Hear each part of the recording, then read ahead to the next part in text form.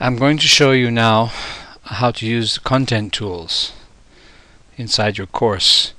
Now, I'm I'm not a big promoter and a strong fan of uh, of content tools for the simple reason that you don't have to have content inside and paginated within a course in order to have a good online course.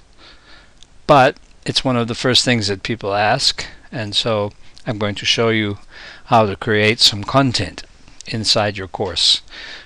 Now we're in a different uh, theme or skin from the one we used in the previous video. Don't worry about that. That's just look and feel stuff, but everything is the same, just the buttons here look different. So we're going to go to My Courses, and we're going to enter the course that we created in the previous video, which is called Introduction to E-Learning. And now you'll see that we've still got um, turn editing on over here. Uh, We'll come back to that another time. And down here on the left hand side you'll see the plugins that we've used, uh, announcements, course content and file manager and we're going to create some content so obviously we'll go to course content. Now let's use some text and we'll use some text from the Lorem Ipsum uh, file so it's totally meaningless and we will paste in some text. Now what is it we're creating here? Well, we're creating a chapter. Before you can put any content pages in, you need to create at least one chapter. Uh, the course content is divided into chapters and because it's divided into chapters you can organize it according to these topics. So let's create the chapter. The chapter is called Nemville Nissel in Lachas and we save that.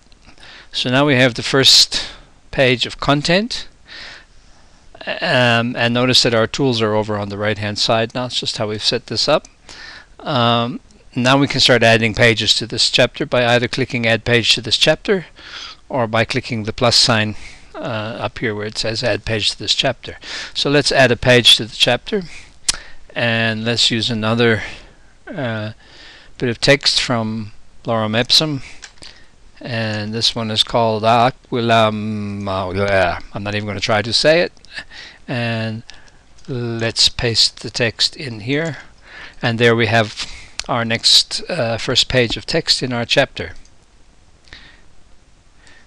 And so we have the page of text that we just created, and we can navigate to the chapter.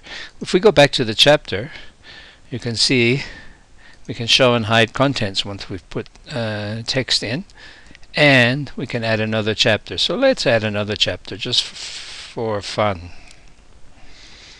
Uh, let's call this one Crasvel Suscipit Magna. And let's add a paragraph of text from Lorem Ipsum.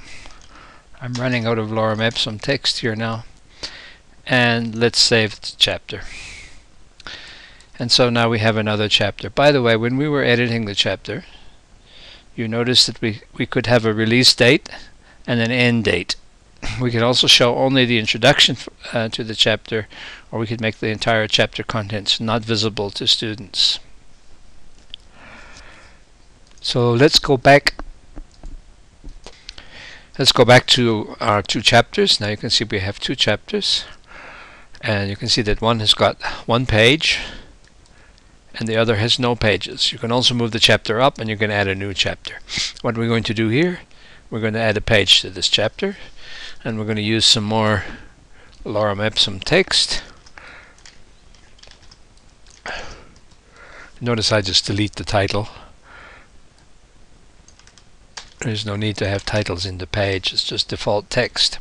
Okay, now what we're going to do in this page is we're going to add a image. Okay, so we're going to click here we're going to browse the server.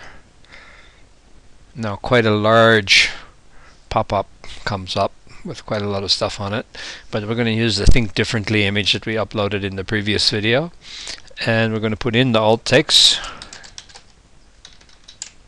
think differently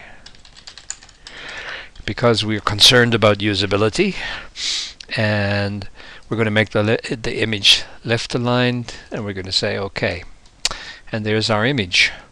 Uh, let's just move it up so that it is uh, aligned to the paragraph. There we go. Now you'll notice one thing here. The paragraph text and the image abut one another. This is always a, a problem on all systems when you're inputting images uh, the, where the system uses this kind of what's WYSIWYG editor. So what you can do is you can right click the image and you can go to image properties, go to advanced and you can actually put in some some styles. So if you look down here you'll see style and it gives the width and height of the image and it says float left. So what we're going to do is we're going to say margin right 10 pixels 10 px sometimes it's good to do margin bottom as well. So we'll go margin bottom 10 px as well. Here we don't have enough text to uh, to worry about what happens on the bottom but if we had a lot of text we could also put in margin bottom. Oops margin dash bottom. Those are standard CSS if you're going to be creating online content it's a good idea to know a little bit of HTML and a little bit of CSS now you notice that the text has moved away from the image a little bit and if there was more text underneath it let's just do it and see what happens you see we've also put some margin underneath. Probably the image is a little bit of margin already. and there you go. Once we've done that, we can save the page. And now there we have it. Of course, the image is, uh, is taking up all the space, and so it's not wrapping because of the size of the display area.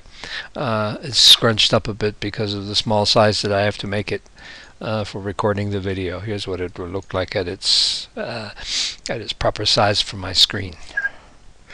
Okay, that's how that's it. That's how you add content to a course. Simple as that. You can add videos, you can add flash animations, you can add whatever you want. There are tools for doing it, just as pretty much the same way we did uh, add the image. As I said before, though, it's perfectly legitimate to have a course with no content in this particular content tool. But as this is an overview of all the tools, I felt it was important to start with this one. Now we'll move on to some of the other tools in some of the upcoming videos that we'll be doing. That's all for now. Thank you. Bye.